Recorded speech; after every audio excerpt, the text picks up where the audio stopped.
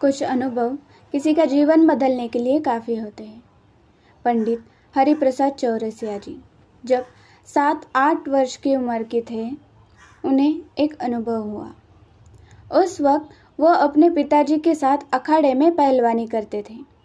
इलाहाबाद के संगम तट पर उस्ताद अब्दुल हलीम जाफ़र खां साहब राग कीरवानी गा रहे थे कि उस गायन को सुनकर हरी सब भूल गए।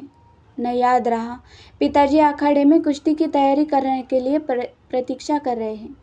न याद रहा कि इस रास्ते पर चलने की इच्छा जब उन्होंने अपने पिताजी से कही थी तो पिताजी किस तरह भड़क गए थे कि पहलवानों के खानदान का बेटा होकर मिरासी बनना चाहता है। उसी दिन उसी दिन, उसी समय हरि जी को संगीत की ऐसी दुनिया दिखाई पड़ी कि कितनी सुंदर, कितनी सुनहरी दुनिया है।